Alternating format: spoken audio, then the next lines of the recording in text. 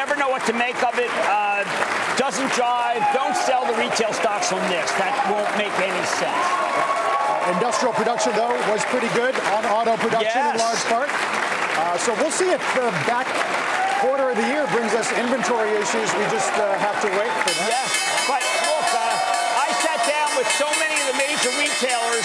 This is a halcyon moment for them. Costco downgrade today. Why?